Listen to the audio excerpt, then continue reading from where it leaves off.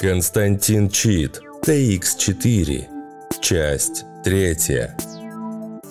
Озвучено проводником при поддержке спонсоров пересадочной станции и напитка Изониум.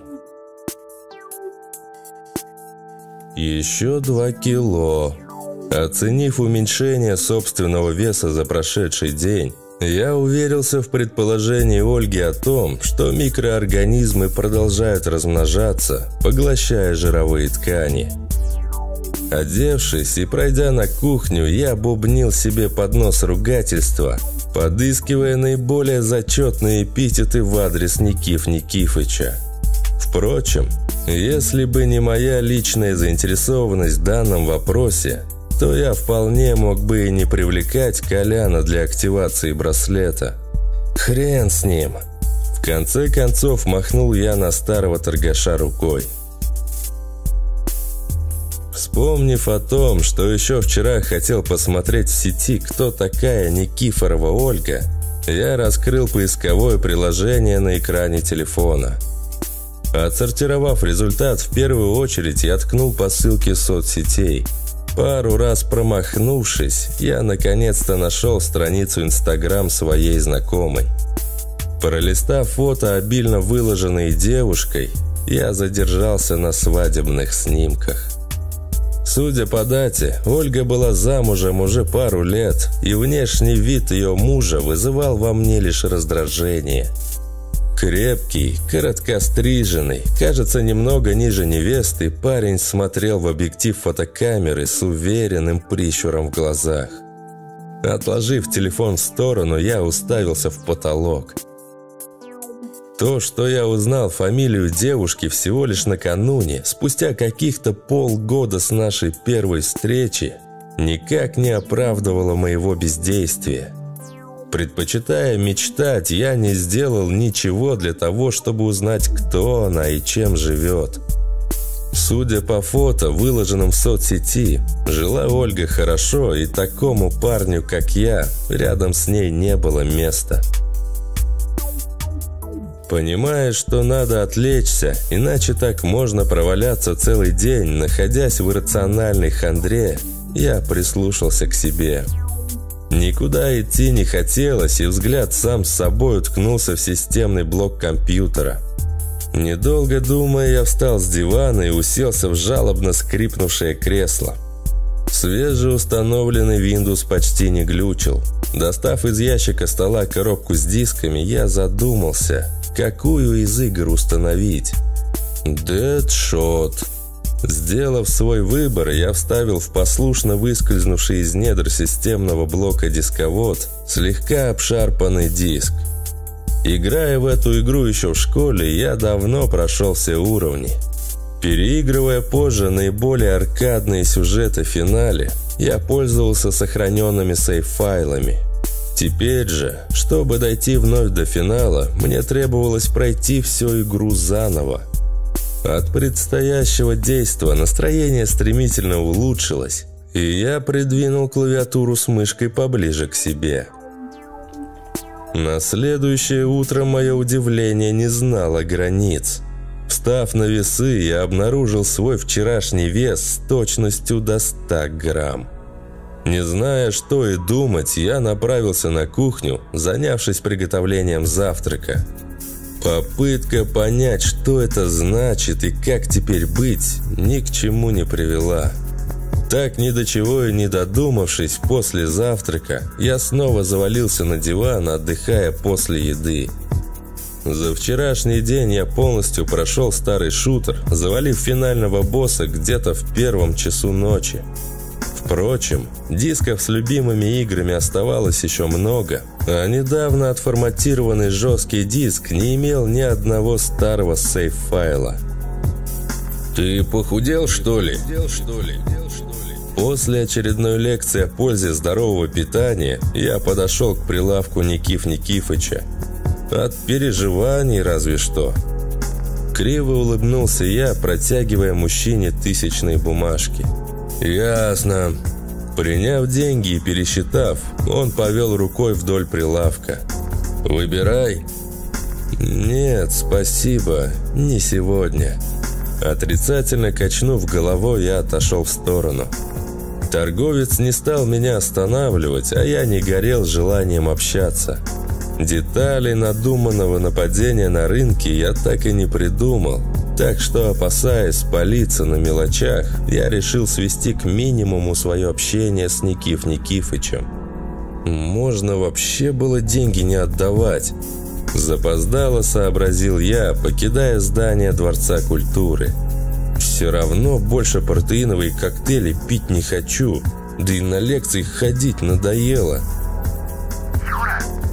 Стоило мне принять входящий звонок, как Ольга тут же перешла к делу. Нам надо еще раз встретиться. Приходи в роддом, как обычно. «Нет», — отказался я. По-своему поняла меня девушка, после чего помолчала в трубку и как-то не смело продолжила. «Ну, я с Гариком со школы знакома, мы всегда были вместе». Вот дура-то. Мысленно охарактеризовал я ее реакцию на свои слова. «Хочешь, я тебя с ним познакомлю?» Подтверждая полученный секунду назад диагноз, она продолжила нести чушь в телефонную трубку. «Ничего мне не надо. Просто забудь этот номер». Прервал я ее и нажал кнопку отбоя. Убранный в шорты телефон еще пару раз повибрировал, сигнализируя о попытках до меня дозвониться. Я даже не стал смотреть, кто меня беспокоит, аргументированно решив, что это Оля, не пожелавшая понять с первого раза, что я не хочу с ней разговаривать.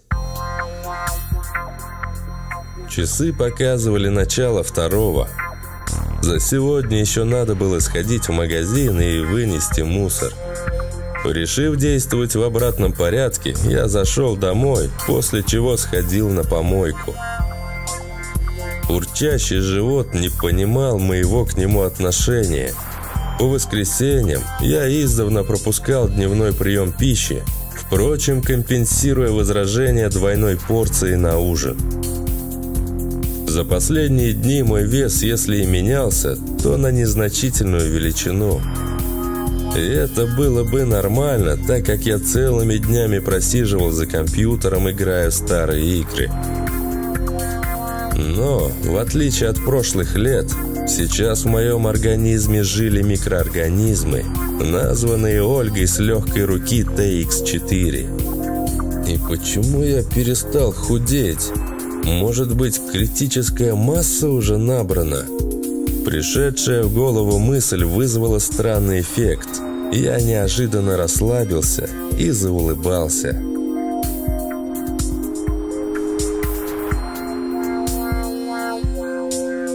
Прислушиваясь к себе и попытавшись проанализировать свое состояние, мне стало понятно, что все эти дни я подспудно боялся того, что мое тело сожрут изнутри невидимые глазу паразиты, и от этого я рано или поздно умру. Мидихлорианы, мать их туды! Вспомнив лаборантку, я широко и открыто улыбнулся. На следующий день меня ждал институт. Лето незаметно закончилось, и первый день осени, как всегда, наступил незаметно – Вспомнив, что обещал зайти в гости к обеим бабушкам, я посвятил целый день поддерживанию хороших отношений с ближайшими родственниками. «Да что такое-то, а?» Возмутился я, встав утром на весы. Уверившись накануне в том, что действие штамма TX4 сошло на нет, я неожиданно получил опровержение собственным доводом. Более того, поглощая вчера целый день пироги и булочки в гостях вначале у одной бабушки, а затем и у второй, я невольно ожидал увеличения своего веса, но никак не снижения на ставшие уже пугающими 2 килограмма. Присев на диван, я задумался, пытаясь постичь логику происходящего – с утра в не до конца проснувшийся мозг ничего толкового не приходило. Посидев на месте с четверть часа, я лишь напрасно потратил время вместо того, чтобы позавтракать. Спохватившись, я глянул на часы, после чего поспешно начал одеваться. Несмотря на то, что я учился уже на третьем курсе института, опаздывать на лекцию, по крайней мере первую лекцию в учебном году, было нежелательно. «Юр, привет!» Поздоровался со мной Саня. Пожав протянутую ладонь, я занял соседнее с товарищем место, пихнув пакет с тетрадками себе под ноги. В аудитории уже собралась большая половина с нашего потока, состоящего в основном из девушек. До начала занятия оставалось минут 10, которые мы плодотворно потратили с Аней, обмениваясь впечатлениями о проведенном лете. «О, Кинг-Конг вернулся!» Стоило мне склониться над купленным в буфете сэндвичем, как над духом раздался раздражающий голос. Мелкий и противный, а главное шустрый Мельников с параллельного потока принялся за старое, доставая меня тупыми шутками. Изобразив двоечку, а потом и тройной удар куда-то в область моего живота, он отскочил назад, после чего победно воздел руку вверх. Я все это время продолжал оставаться неподвижным, так как был весьма озадачен случившимся. Что там говорил Мельников, мне было особо неинтересно. Писклявый голос обтекал, не достигая слуха. Для окружающих мое поведение ничем не отличалось от обычного, так как я и раньше реагировал схожим образом на все подобные выходки. Не имея возможности ни поймать, ни перехватить Юркова доставалу, мне оставалось лишь пялиться на него, дожидаясь, пока ему надоест кривляться. Раздался как будто через вату голос Мельникова. Еще раз посмотрев на движущиеся в районе моего живота кулачки дурачащегося парня, я осознал, что мне все это не показалось и более чем реально. И год, и два года назад для моего восприятия движения мелкого сливались в смазанную картинку. Сегодня же все было по-другому. Стоило Мельникову ускориться, как для меня его движения замедлялись, становясь похожими на кадры замедленной съемки. Долетела до меня очередная фраза – Бум! Словно что-то лопнуло во мне, совпадая по времени с движениями правой рукой. Выставив раскрытую ладонь вперед, я ткнул мелкого в грудь, в результате чего Мельников отлетел на несколько метров, упав на задницу. Слегка растерявшись и от того, что попал, и от того, что решился ударить, я вернулся к надкусанному сэндвичу кафе, если до этого кто и не смотрел в нашу сторону, то после падения Мельникова внимание всех студентов оказалось приковано к моей персоне. «Ты, блядь, чего? Охуел? Охуел?» Продолжая сидеть на заднице, Мельников не мог поверить в случившееся. «Сам охуел. Заебал уже!» Буркнул я с набитым ртом. «Ну все, пиздец тебе! Пиздец тебе! Пиздец тебе!» Вставая, мелкий отряхнул свои штаны и буквально выбежал из кафешки. Сидевший со мной за столом Саня как-то неуверенно качнул головой, после чего решил высказаться. «Юр, ты, конечно, прав, но, блин, он же теперь тебе жизни не даст», понизив голос, произнес он. Подняв глаза на парня, я впервые задумался о том, кем я выгляжу в его глазах. Разыгравшееся воображение нарисовало неприглядную картину. Уж то-что, а сам я никогда не занимался самообманом и трезво оценивал отношение окружающих к своей персоне. Попробовав встать на место Сани, я представил себе, что у меня есть вот такой товарищ, как я сам – при первом же приближении я понял, что сам я ни за что не стал бы водиться с толстым, неуклюжим, порой неприятно пахнущим и потеющим типом. Более того, Саня был единственным, кто садился со мной рядом. Все остальные, учащиеся на потоке, при первой же возможности старались отодвинуться от меня подальше. Он что, из жалости что ли? Чуть не вспылив, я отвел глаза, чтобы скрыть охватившие меня эмоции. «Да ладно тебе, не переживай!» Решив, что я рефлексирую по поводу случившегося, Саня протянул руку, дотронувшись до моего плеча. «Прорвемся?» «Прорвусь!» Поправил я парня, видя, что он не понял, разъяснил. «Тебе лучше в это дело не лезть». «Как скажешь?» Поджав губы, парень еще немного посидел, после чего встал и вышел из кафе. «Давай, давай, вали!» Возвращаясь к недоеденному сэндвичу, поднос самому себе произнес я. Оставшиеся на сегодня пары я просидел в одиночестве. Лекции тянулись медленно и скучно. Судя по перешептыванию за моей спиной, случившееся в кафе обсуждалось между сокурсниками. Впрочем, ко мне с расспросами никто не подошел и не заговорил, что более чем наглядно демонстрировало ко мне отношение окружающих. Выйдя из здания института, я нарочно направился через сквер к дальней остановке – Идя вдоль деревьев, за которой располагалась парковка для имеющих машины преподавателей и студентов, я посматривал по сторонам.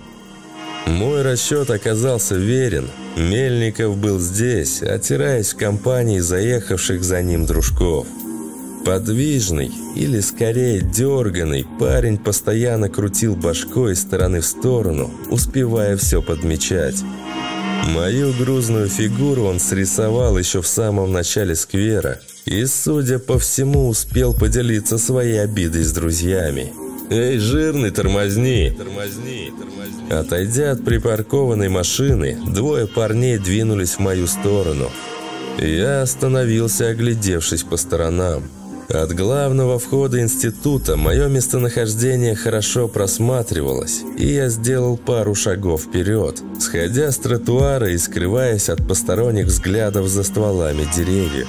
Незнакомые парни чуть сбавили ход, уверившись, что я не собираюсь бежать. Даже если бы и захотел, не убегу. С недовольством подумал я. Значит так, жирный. Ты нашего друга ударил, за это компенсация. Каждый день будешь отдавать по тысяче рублей. Озвучил один из них мирное решение проблемы. Если денег не принесешь, будешь получать пизды каждый день. Второй парень не заставил себя ждать. Нахуй оба пошли. Равнодушно сказал я. Стоявший чуть подаль Мельников чуть не подавился, до этого ухмыляясь своей гнусавой улыбочкой. «За грубость штраф увеличивается!» Шагнув ко мне почти синхронно произнесли парни. За то время, что прошло с момента стычки с Мельниковым и до окончания уроков, я так и не пришел к однозначному выводу, что же в кафе со мной случилось. Действуя скорее интуитивно, чем осознанно, я пошел на обострение неизбежного конфликта, желая все прояснить. Стоило одному из парней ускориться, пробивая правой в мое солнечное сплетение, как восприятие вновь изменилось, позволяя оценить происходящее. Достиг моего слуха размазанный звук – Несмотря на то, что я все видел, полностью вернуться от кулака у меня никак не получалось. Но успев напрячь брюшной пресс и чуть-чуть подпрыгнув, я минимизировал последствия пропущенного удара.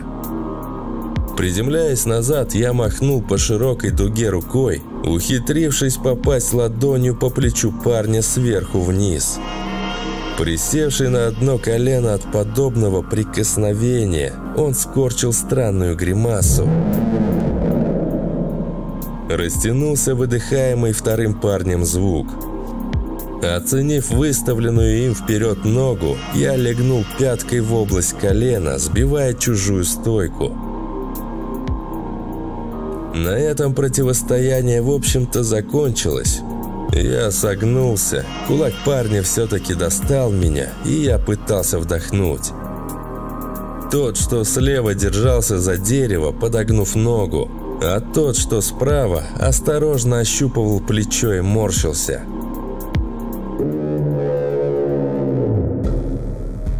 Неожиданно раздалось сзади, и я ощутил удар в район спины. Мельников, о котором я почти забыл, с разбегу пнул меня ногой. Но парень явно не учел разницы в массе наших тел и сейчас лежал на траве, откинутый собственной неуклюжестью. Двинувшись к нему, я прикидывал, как бы лучше пнуть, чтобы запомнил. Раздавшийся со стороны парковки лязгающий звук металла отвлек меня от этого намерения. Еще один парень, остававшийся у машины и не принимавший участия в воспитательных мерах, стоял сейчас на краю бордюра. Его начищенные ботинки на тонкой подошве не предполагали прогулки по траве. Переведя внимание на предмет, находящийся в его руках, я без труда опознал огнестрельное оружие. «Э, как там тебя? Иди сюда, разговор есть!» Чуть дернув стволом, он убедился, что я все понял, и сунул пистолет куда-то в район левой подмышки. Кобура скрытого ношения. У нас в институте я его ни разу не видел. Бля. Двинувшись следом, я мысленно пытался прокачать ситуацию. Дойдя до машины, двери которой оставались настежь раскрыты, Парень уселся боком на водительском сиденье, оставив ноги в ботинках на асфальте.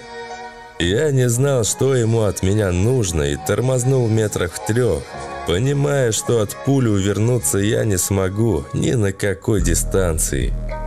Парень тем временем не спешил говорить, повернувшись вместо этого в ту сторону, откуда мы пришли.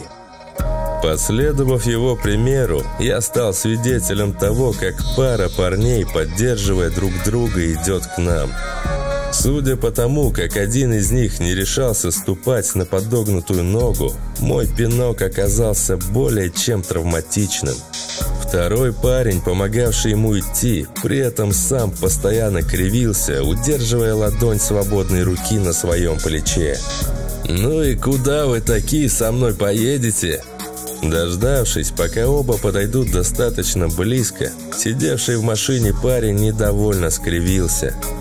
«Мне сегодняшнюю встречу без убытков не отменить. Кто компенсировать будет, а?» «Этот путик компенсирует!» Кивнув в мою сторону головой, подал голос одноногий. «Ты меня еще поучи!» Отдернул его главный в этой компании, после чего наконец-то посмотрел на меня. Я тем временем, чтобы не встречаться с чужим взглядом, заценивал машину. Черная БМВ, похожая профилем на акулу. Кузов играл под лучами солнца навощенными гранями. Салон, который хорошо было видно через открытые нараспашку двери, также внушал. Кожа и дерево, никакого пластика и дешевых металлических нашлепок. «Тебя как звать-то?» Насмотревшись на мое тело, спросил оружный. «Юра?» Не видя причин скрывать, представился я. «А меня Андрей!» Кивнув, назвался он, после чего продолжил. «Съездишь со мной в одно место, надо будет молча постоять, ну а если что, то помахать руками и ногами». «Я не умею», честно признался я. «Видел, что не умеешь, но говорить об этом кому бы то ни было не обязательно». Ухмыльнулся Андрей, после чего, став серьезным, добавил. «Задача телохранителя – закрыть своим телом охраняемый объект. Тело у тебя большое, реакция есть. Успеешь прикрыть меня, если что-то пойдет не так, то считай до конца жизни будешь обеспечен». Я задумался над сделанным предложением. Мне, даже при самых удачных раскладах, выпутаться из сегодняшней истории без потерь никак не получалось. Более того, предоставляемый шанс давал возможность не только свести на нет негатив от нанесения увечий двоим подручным Андрея, но и на призрачную перспективу налаживания более тесного контакта. «Ну как, согласен?» Устав ждать ответа, поторопил меня парень. «На переднем сиденье не поеду, тесно». Кивнув на салон машины, поставил я свое условие. «Да!» Продемонстрировав отбеленные ровные зубы, засмеялся Андрей. На парковке мы не задержались. Крикнув Мельникова, парень отдал ему приказание вызвать такси и доставить покалеченных в травмпункт. Двоим парням он предложил сознаться в том, что они подрались друг с другом, но только в том случае, если прицепится кто-нибудь из полиции. Сам Андрей уселся за руль, предоставив мне возможность расположиться сзади.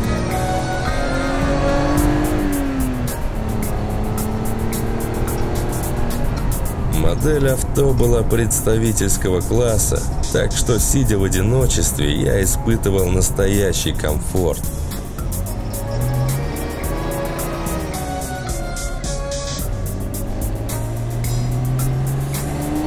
Манера вождения взявшего меня с собой парня была, как и у всех владельцев BMW, агрессивной. Выжимая из мощного мотора максимум даже на коротких отрезках дороги, машина двигалась в режиме броска кобры.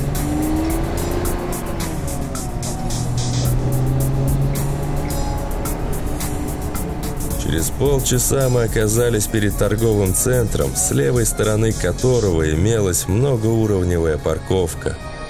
Крутанув руль, Андрей перестроился через две полосы в правый ряд – и нырнул к автоматическому шлагбауму. Заезд по спирали на несколько уровней вверх вызвал у меня легкое подташнивание. Когда машина оказалась на верхней площадке и пошла прямо, мне все еще казалось, что нас заносит. Вестибулярка шалит. Отметил я вскрывшуюся у себя неустойчивость к резким перемещениям в пространстве. Дальний угол, куда свернул сидевший за рулем парень, почти пустовал. Единственное авто, стоявшее с ярко горящими фарами, принадлежало, судя по всему, приехавшим навстречу с Андреем парням. Их было четверо, Бритый, видимо главный, сидел на капоте машины. Еще трое стояли по сторонам. «Да, не комплект у нас». Оценив расклад сил, мысленно скривился я. Дождавшись, пока мы выйдем и пройдем половину расстояния между машинами, ожидающая сторона пришла в движение – Судя по выражению лиц, между устроившими здесь встречу парнями не было дружбы, от слова совсем. Вначале неприязненные, а потом и откровенно насмешливые взгляды, бросаемые в мою сторону, не способствовали успешности диалога. Я и сам хорошо представлял себе, как выгляжу со стороны. Я откровенно не понимал, Зачем Андрей решился на встречу с сопровождающим в виде моего тела? Пошли отсюда. Пошли отсюда. Окончательно убедившись, что договориться не удастся, Андрей развернулся спиной к ухмыляющемуся оппоненту и двинулся прочь.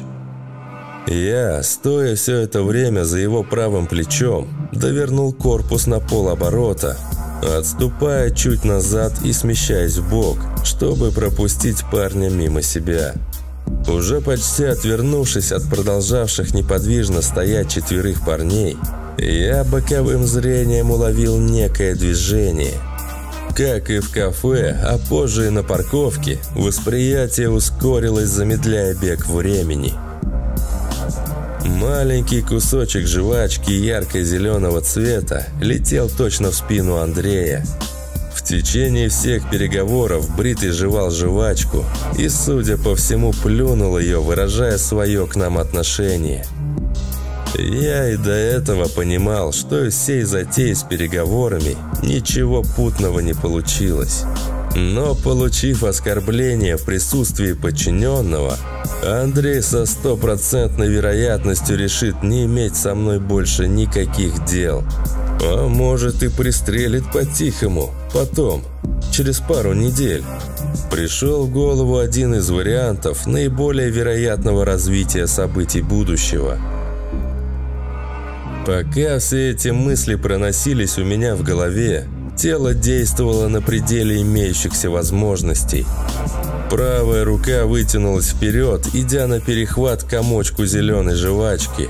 Левая рука в это время нырнула под полу распахнутого пиджака Андрея, туда, где висела кобура. Ухватив зеленый комочек, я размашисто повел рукой вправо, заводя конечность себе за спину – Ладонь левой руки, успешно завладев рукоятью пистолета, устремилась наружу, в то время как ноги сами шагнули вперед. Спустя еще мгновение до воротам корпуса я полностью заслонил своей тушей Андрея, для верности прижав его к своей спине, заведенной назад правой рукой. «Хоп!» Громко выдохнул я, заставив всех замереть. Вороненый ствол зажатого в моей руке оружия смотрел точно в лоб, еще не осознавшему, что произошло оппоненту. Трое его подручных только-только потянулись к карманам своих курток, впрочем, тут же замерев, услышав мой оклик. Андрей, оказавшийся прижатым спиной к моей спине, напрягся. Парень мог сейчас все испортить, начав вырываться и выяснять, что произошло.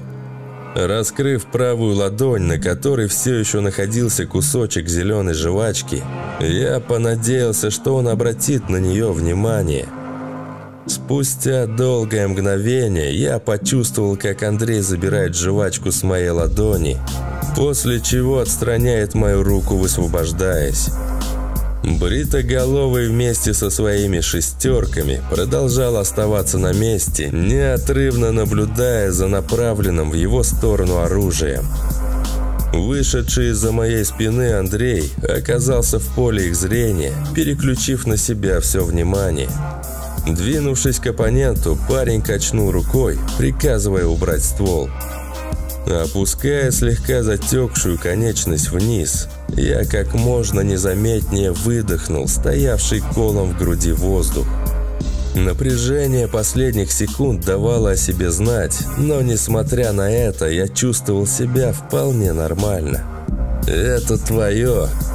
Подойдя к оппоненту, Андрей прилепил жвачку к лацкану его кожаной куртки, после чего добавил – и не лезь больше на цветочную улицу.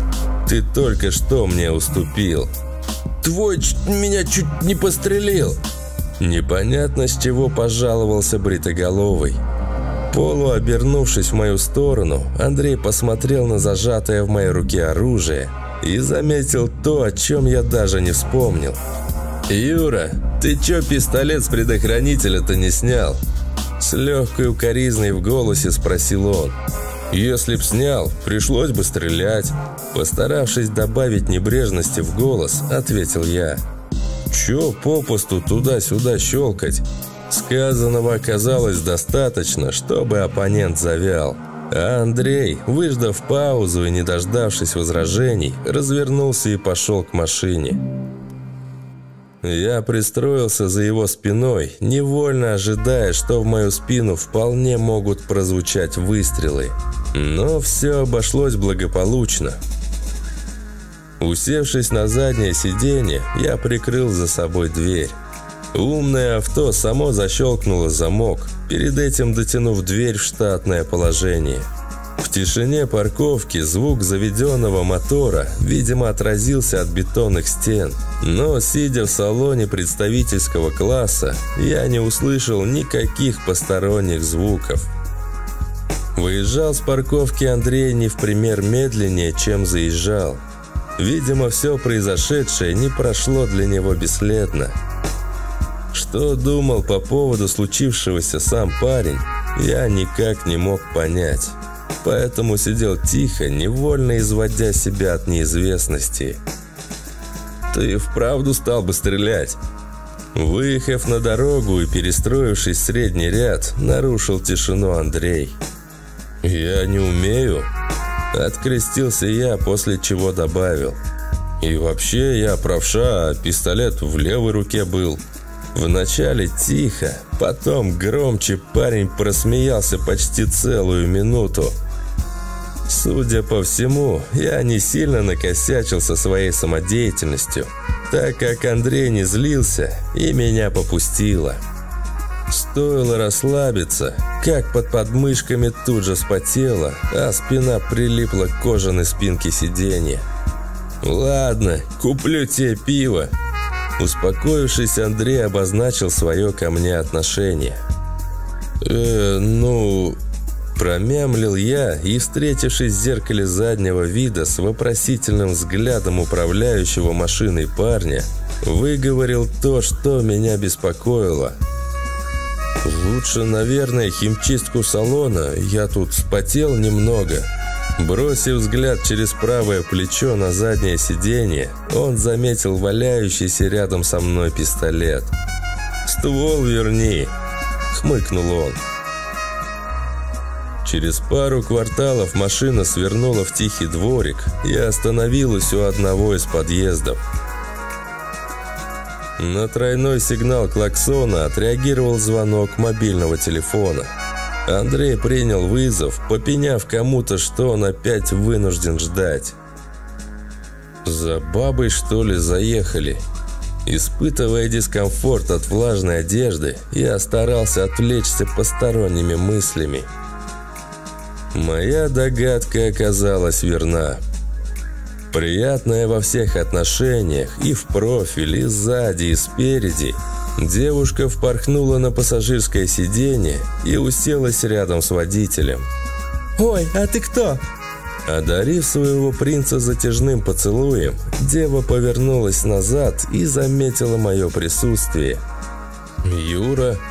С трудом отведя взгляд от глубокого декольте, я тяжело вздохнул, представившись. «Винни-Пых!» Не согласилась со мной дева и засмеялась собственной шутке. «Быть тебе теперь винипыхом!» Поддержал ее Андрей с улыбкой, трогая с места. Через четверть часа мы припарковались на стоянке у какого-то ночного клуба. Судя по тому, что с парковки имелся отдельный вход, ставить машины здесь разрешалось немногим. Кивнув охране на входе, Андрей прошел вперед, удерживая привезенную с собой диву за талию. Я двигался строго за спиной парня, стараясь не отставать более чем на метр-полтора. «Винни-Пых, не маячь, падай туда!»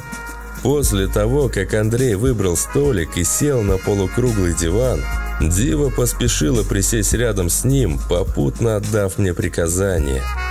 Встретившись взглядом с парнем, я получил согласный кивок – после чего присел с другой стороны дивана, сохраняя между нами максимальное расстояние. Заметив мои маневры, Андрей улыбнулся каким-то мыслям, после чего поманил к себе рукой, склоняясь со своей стороны над столиком. «Ешь, пей, на сегодня все», — пояснил он. Если у меня будут проблемы, то это проблемы владельца этого заведения. Он отвечает за все, в том числе и за безопасность гостей. Откинувшись после этого назад, парень притянул к себе пискнувшую диву и попытался игриво укусить ее замочку уха. Отведя взгляд, я начал осматриваться, оценивая помещение клуба.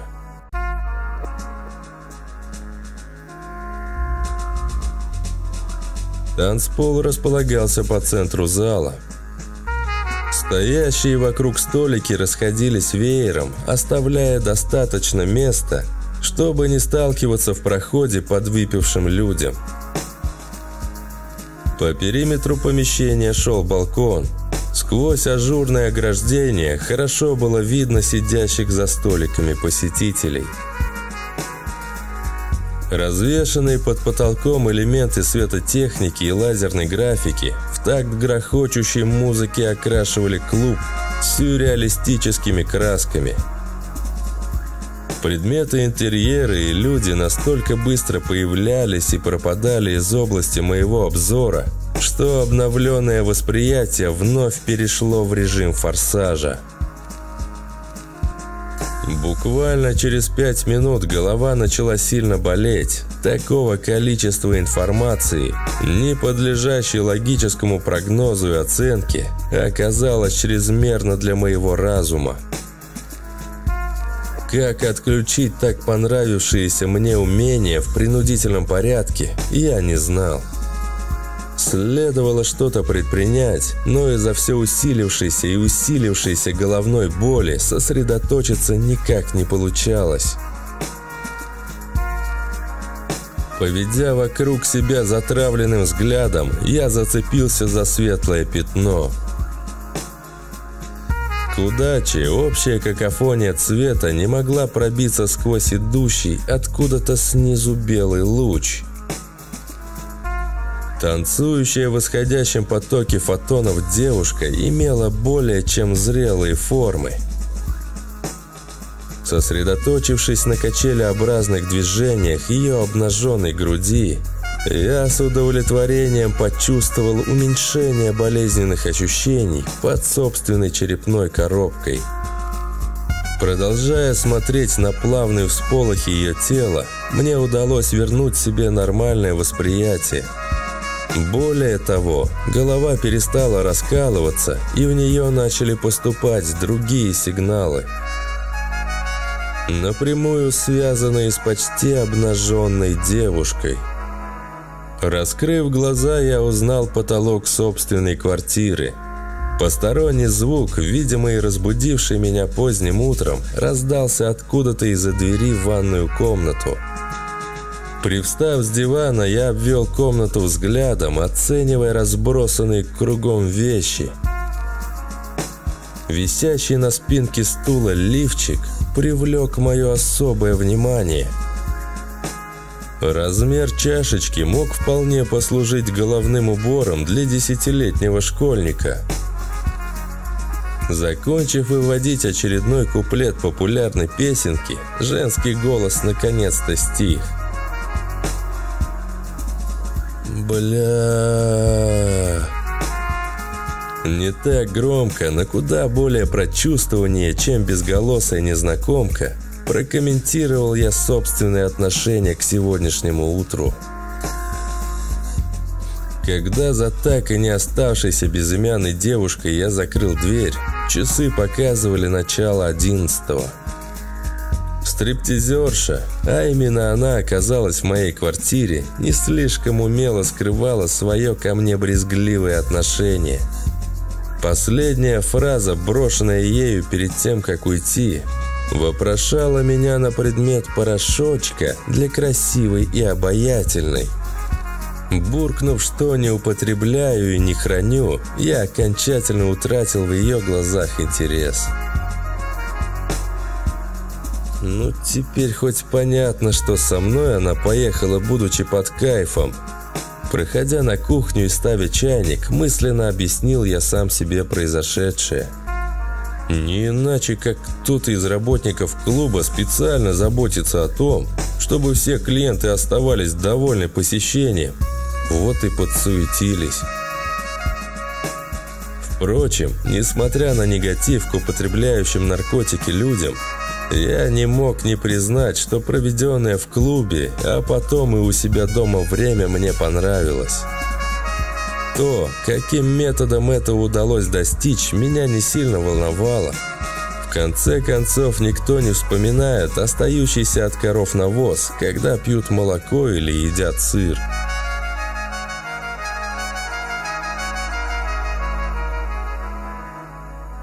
В институт пришлось все-таки идти. Третьей и четвертой парой в расписании сегодня стояли профильные предметы. На мое появление никто не обратил внимания. Многие студенты позволяли себе пропускать лекции по уважительной или безонной причине. Выйдя после занятий на улицу, я свернул сквер. Среди стоящих на стоянке машин черной БМВ было не видно. Мысленно обругав себя за бесплодные надежды, лелеемые в мыслях по поводу Андрея, я развернулся и пошел назад. До ближайшей остановки было пять минут ходу. «Ну долго тупить будем?» На подъехавший к остановке грязно-белый микроавтобус я не обратил никакого внимания. Пока из кабины водителя меня не окликнул знакомый голос. «А, привет!» Разглядев за рулем авто вчерашнего парня, того, которому досталось по плечу, сказал я в знак приветствия. «Садись давай!» Кивнув на соседнее с собой место, он потянулся к пассажирской двери, открывая ее изнутри кабины. В микроавтобусе было тесно. Кое-как устроив свои ноги под торпедой, я посмотрел на парня, выруливающего на проезжую часть. «Витя!» Отняв руку от баранки, он протянул ее мне для рукопожатия. «Юра!» Пожав сухую ладонь, представился я. «Винни-Пых, знаю!» Вернув руку на оплетенный синей изолентой руль, назвавшийся Витей прибавил газу. «Куда едем?» Решив не обращать внимания на кличку, поинтересовался я. «Увидишь!» Ответил парень, видимо, решив не вдаваться в подробности. «Кстати, ты это, извини за вчерашнее». Еще с утра я решил по возможности извиниться перед парнями с Аказией, хоть и считал себя правым. «Да?» Явно удивившись, парень покосился на меня, после чего кивнул. «Да», мысленно в рифму добавил я. «И пошел ты на...» Ехали мы почти 40 минут. Хриплая магнитола пыталась издавать музыку. Свернув на очередную улочку, Витек сбросил скорость, явно выбирая место, где лучше припарковаться. Его выбор пал на свободный пятачок перед одним из жилых домов, первый этаж которого имел несколько переоборудованных в магазинчики из жилых квартир помещений. «Нам сюда!» Заглушив двигатель, он первым покинул кабинку авто. «И что здесь?» Потратив куда больше времени, чем парень, я вылез на тротуар, прихлопнув за собой дверь кабины. «Твоя точка?» Махнув рукой на вывеску одного из магазинов, он нехотя пояснил. «Андрей ее тебе отдал. Будешь со склада привозить сюда товар. С владельцем все договорено, деньги за реализацию 50 на 50. Объемы поначалу небольшие, в багажник легковушки спокойно все влезет. Не спеша что-либо говорить, я еще раз посмотрел на магазин.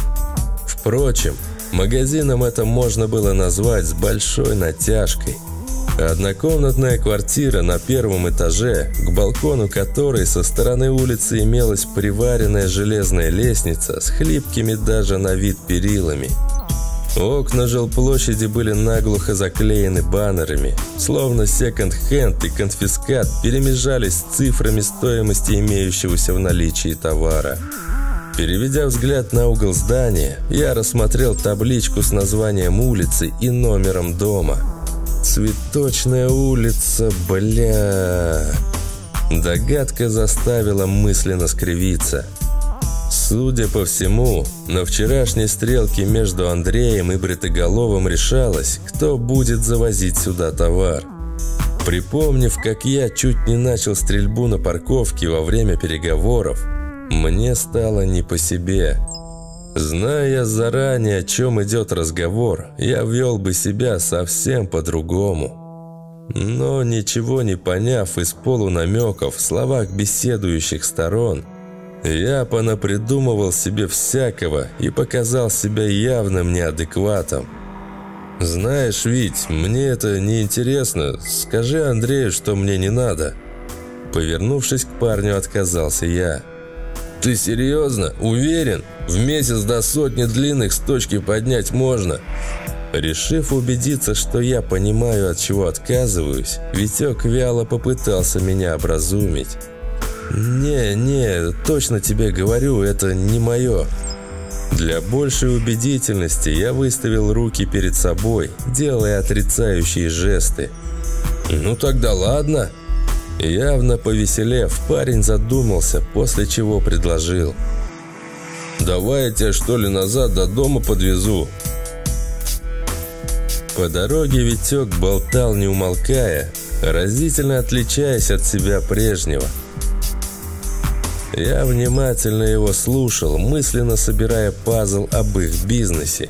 Со слов парня получалось, что папа Андрея работает в структуре, занимающейся реализацией конфискованных товаров. В результате работы государственного аппарата на складах завидным постоянством появлялись товары из третьих стран, возимые в Россию без документов – но вместо того, чтобы пройти одобренную законом процедуру уничтожения, конфискат поступал на реализацию, принося определенному кругу лиц постоянный доход. «Спасибо, что подвез». Покинув кабину микроавтобуса, поблагодарил я парня. «Да не за что». С честными глазами Витек вернул мне улыбку. Ты это, передай Андрею, что если надо будет рядом постоять, то я завсегда согласен. Решив закинуть удочку на будущее, вернул я обдуманную за время поездки фразу. «Ты в спортзал сначала походи, может, тогда и возьмет». Не удержавшись, показал свое истинное ко мне отношение парень. «Окей, похожу», я не стал грубить, сообразив, что он, вероятнее всего, не в курсе, как именно проходила вчерашняя стрелка и чем все закончилось. На часах было почти шесть. Я и не заметил, как пролетел весь день и наступил вечер. Оказавшись дома, я уселся на диван, наконец-то получив возможность упорядочить все, что со мной произошло за последние два дня. Мысленно перебирая в голове события, я искал закономерности и логику. И с логикой, и закономерностями имелся напряг. Глаза, до этого бесцельно шарившие по комнате, неожиданно задержались на компьютерной мышке. Вернее, не на ней самой, а на столешнице – Участок стола, тот самый, по которому елозила мышь во время игр, оказался истерт настолько, что некогда лакированная поверхность больше не блестела. «Да ладно!»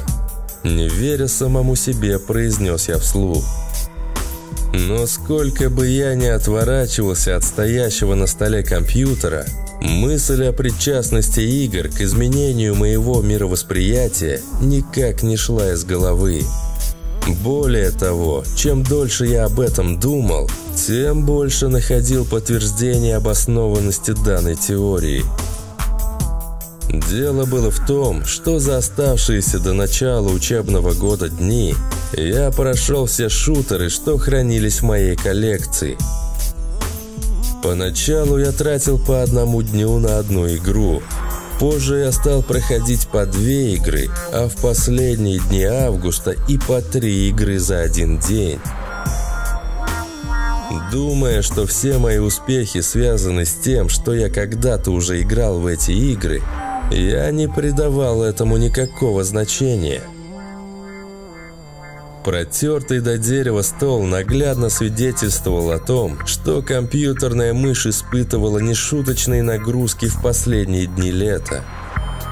Видимо, я настолько увлекался сюжетами игр, что компьютерная мышь, ставшая невольным звеном между мной и компьютерными играми, стерла весь лак, по которому ею елозили. Припомнив слова Ольги о принципах жизни микроорганизмов, можно было предположить, что в те дни, когда я худел на пару килограммов, колония размножалась, поглощая жировые клетки и увеличивала свою популяцию. В другие дни, когда снижение веса не наблюдалось, представители штамма переходили в латентное состояние, отдавая свою энергию на формирование новых тканей – Если я был прав, то испытывая те или иные нагрузки, я провоцировал микроорганизмы на модификацию органов, задействованных в работе моего тела. Прикинув, какие перспективы передо мной открываются, я аж присвистнул. После чего развалился на диване с улыбкой на пол лица. То-то я по Витькиному плечу сумел попасть. Похоже, не только глаза, но и рука прокачалась. Пришедший на память эпизод драки в сквере рядом с парковкой удачно вписывался в выстроенную мной гипотезу. Впрочем, заурчавший живот не дал долго разлеживаться. Пришлось вставать и идти на кухню готовить ужин. Привычные действия по превращению сырых продуктов в съедобные не мешали продолжать думать и мечтать. Так что, поужинав, я вернулся в комнату и уселся за учебники. Как бы и что бы другие люди не думали о моей внешности, сам я для себя давным-давно определил простую истину. Красота и здоровье – все это не навсегда – Единственное, что остается с человеком до самой старости, это его ум. И чем он острее и гибче в молодости, тем более преклонных лет удастся достичь, не впав ни в маразм, ни в скудоумие. Утреннее взвешивание на весах преподнесло неприятный результат –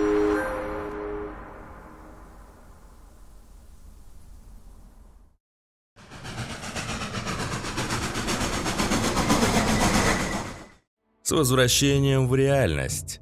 Если вам понравилось наше путешествие в мир киберпанка, то обязательно поставьте лайк, напишите комментарий и поделитесь этим видео в социальных сетях. Ну а если вы хотите отправиться дальше, то просто выберите одну из иконок на экране. И как всегда, до встречи в следующих мирах.